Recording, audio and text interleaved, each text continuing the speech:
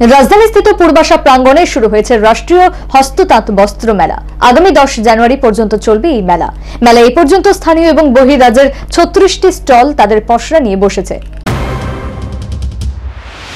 উৎসাহ উদ্দীপনার মধ্য দিয়ে মঙ্গলবার রাজধানী স্থিত পূর্বাশা চত্বরে মঙ্গলবার উদ্বোধন হল তেরো দিন ব্যাপী রাষ্ট্রীয় হস্ততাঁত বস্ত্র মেলা। ত্রিপুরা হস্তকারু হস্তশিল্প উন্নয়ন নিগমের চেয়ারম্যান বলাই গোস্বামী এই মেলার আনুষ্ঠানিক উদ্বোধন করেন। মেলায় এ পর্যন্ত ছত্রিশটি স্টল এসেছে। এর মধ্যে বহিরাজ্যেরও কয়েকটি স্টল রয়েছে।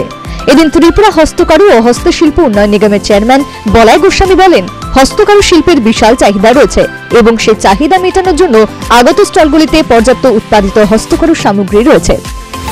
তো আশা করছি যে এই কোভিডের মধ্যেও এই প্রথম আমরা ত্রিপুরাতে কোভিডের সমস্ত গাইডলাইন মেনটেন করে আমরা মেলা করছি। আমরা আশা করি লোক আসবে এবং আমাদের হ্যান্ডলুমের খুব চাহিদা আছে। আমাদের এই প্রোডাক্টের চাহিদা আছে মানুষ আসবে, আমরা বিশ্বাস। তাছাড়া এই লকডাউন পিরিয়ডে দীর্ঘদিন কোভিড সিচুয়েশনের কারণে আমাদের আর্টিজেন উইভার্সরা যে সমস্ত প্রোডাক্টস তৈরি করেছে, তারা এই বিক্রির সুযোগ পায়নি। আজকে এই মেলার মধ্য দিয়ে তারা এই, এটা বিক্রি করার একটা সুযোগ তাদের কাছে হয়ে- গেছে এবং ওনারা খুব খুশি। আমাদের আর্টিজেন সুইভার্সরা সোসাইটির লোকেরা অত্যন্ত খুশি।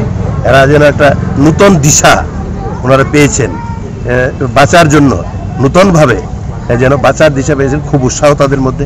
আমি আশা করি আমাদের রাজ্যের মানুষ, আগরতলা শহরের মানুষ, বেশি করে আমাদের এই মেলায় এদিন হস্তকারু ও হস্ততাঁত মেলায় অন্যান্যদের মধ্যে খাদি বোর্ডের চেয়ারম্যান রাজীব ভট্টাচার্য চা নিগমের চেয়ারম্যান সন্তোষ সাহা, ব্রেফিডের ম্যানেজিং ডিরেক্টর রঞ্জিত ডেকা সহ অন্যান্যরা উপস্থিত ছিলেন।